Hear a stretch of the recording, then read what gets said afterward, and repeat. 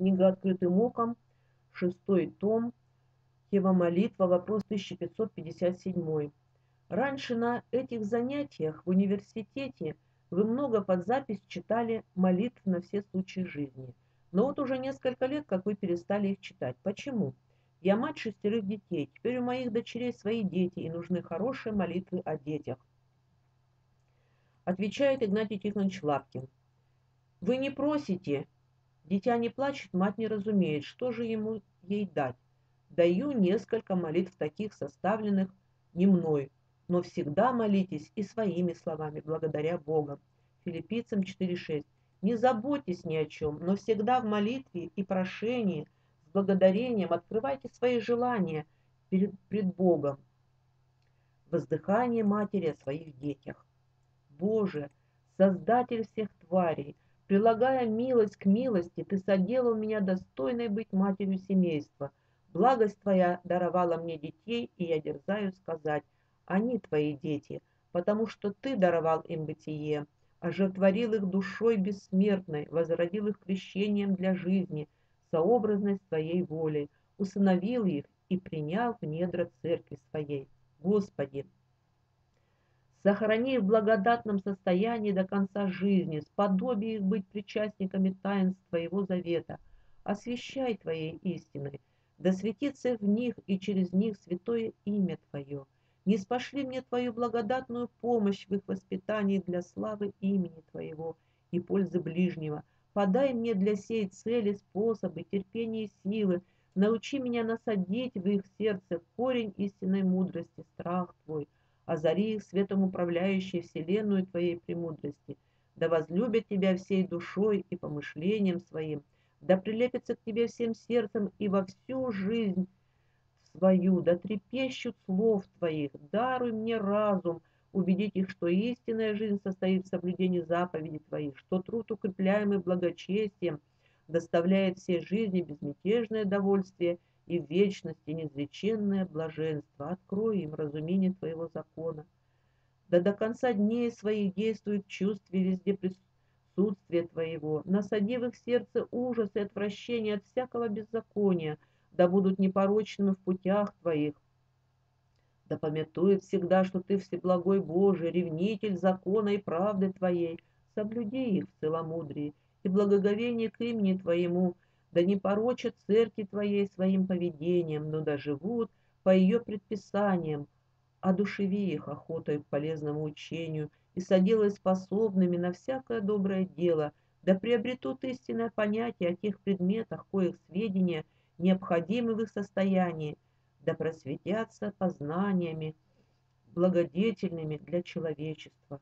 Господи, умудри меня напечатлеть неизгладимыми чертами в уме и сердце детей моих опасения, содружеств с незнающими страха Твоего, внушить им всемерное удаление от всякого союза с беззаконными, да не внимают они гнилым беседам, да не слушают людей легкомысленных, да не совратят их с пути твоего дурные примеры, да не соблазнятся они тем, что иногда путь беззаконных благоуспешен всем мире.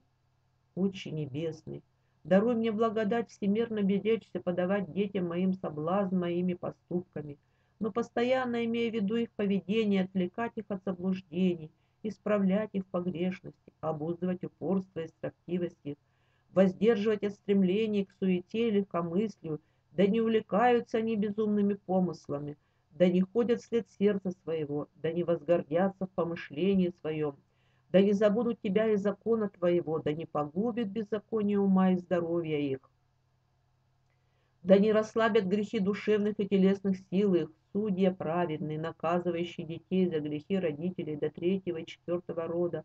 Отврати такую кару от детей моих, не наказывай их за грехи мои, но окропи их росою благодати Твоей. Да преуспевают добродетели святости, да возрастают в благоволении Твоем и в любви людей благочестивых. Отче щедрот и всякого милосердия, по чувству родительскому я желала бы детям своим всякого обилия благ земных, желала бы им благословения от росы небесной и от тука земного, но да будет с ними святая воля Твоя, Устрой судьбу их по Твоему благоволению, не лиши их жизнь, в жизни насущного хлеба, не спосылай им все необходимое во времени для приобретения блаженной вечности. Будь милостив к ним, когда согрешат пред Тобою, не вменяя им грехов юности и неведения их, приведи в сокрушение их сердца, когда будут противиться руководству благости Твоей, карай их и милуй, направляя на путь благоугодный Тебе, но не отвергая их от лица Твоего. Принимай с благоволением молитвы их, даруй им успех во всяком добром деле, не отврати лица Твоего от них в одни скорби их, да не постигнут их искушения выше сил их. Осеняй их Твоею милостью, да ходит ангел Твой с ними и сохранит от всякого несчастья злого пути. Всеблагой Боже, соделай меня матерью, веселящейся о детях своих, да будут они отрадой моей в дни жизни моей и опорою мне в старости моей. Удостой меня с упованием на Твое милосердие предстать с ними на страшном суде Твоем и с недостойным дерзновением сказать, вот я и дети мои, которых Ты дал мне, Господи. Исайя 8.8. Да совокупно с ними прославляя неизреченную благость и вечную любовь Твою превозношу Пресвятое имя Твое, Отче, Сын и Дух Святой, во веки веков. Аминь. Молитва о детях преподобного Амвросия Оптинского. Господи, Ты един все знаешь, все можешь, и всем желаешь спасения, и чтобы все в разум истины пришли, вразуми детей моих имена, познанием истин Твоей и воли Твоей святой, и укрепи их ходить по заповедям Твоим, и меня грешную помилуй. Молитвенное воздыхание жены во время беременности – о, Пресвятая Матерь Божия, помилуй меня, рабу Твою, прииди ко мне на помощь во время моих болезней и опасностей, с которыми рождают чад все бедные дочери Евы. Вспомни, о, благос... о благословенная в женах, с какой радостью и любовью ты шла поспешно в горнюю страну посетить сродницу Твою или совету во время ее беременности, какое чудесное действие произвело благодатное посвящение, посещение Твое и в матери, и в младенце и по неисчерпаемому благосердию Твоему даруй мне, уничиженнейшей рабе Твоей, разрешиться от бремени благополучно. Даруй мне сию благодать, чтобы дитя, покоящееся теперь под именем, под моим сердцем, пришедший в чувство с радостным взыгранием, подобно святому младенцу Иоанну, поклонялась Божественному Господу Спасителю, который из любви к нам грешным не возмущался и сам стать младенцем, неизглаголанная радость, которую преисполнилось девственное твое сердце при воззрении на новорожденного твоего Сына и Господа, да усладит скорбь, предстоящую мне среди болезни рождения. Жизнь мира, мой Спаситель, рожденный Тобою, да спасет меня от смерти, пресекающей жизнь многих матерей в час разрешения, и да причтет плод чрева моего к числу избранных Божий. Услышь, Пресвятая Царица Небесная, смиренную мольбу мою — и презри на меня бездную грешницу оком Твоей благодати, не постыди моего упования на Твое великое милосердие, осени меня, помощница христиан, цели, исцелительница болезни.